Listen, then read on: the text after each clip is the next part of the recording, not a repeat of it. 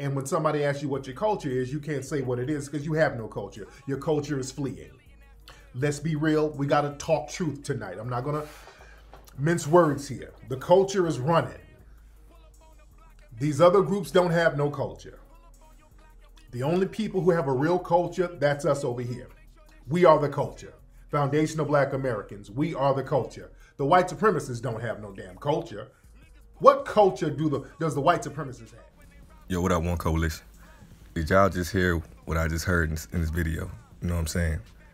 If you leave it to the FBA cult, they'll say he never said that. So that's why I like to screen record when he says stupid things like this. You know what I'm saying? To to show how ignorant this man is and how he's pretty much just pimping y'all. You know what I'm saying? He's pimping y'all, selling y'all lies, making y'all believe this shit. That whole FBA cult shit is, is some bullshit. This man just sat up here and said that the only people who have culture are foundational black Americans. He even goes as far as saying sometimes like how hip hop was started by foundational black Americans. Like how the fuck does he know everyone's genetics who who who were pioneers of hip hop who started this shit? How can he open his mouth and say that nobody has culture but FBA? When you travel around the world and you and you and you eat different people's foods and you listen to different music that comes from the Caribbeans, that come from Africa, the music hits your soul, the food, everything. You know what I'm saying? You go to different places around the world and eat at different restaurants. So how the hell can you say there's no it's no culture?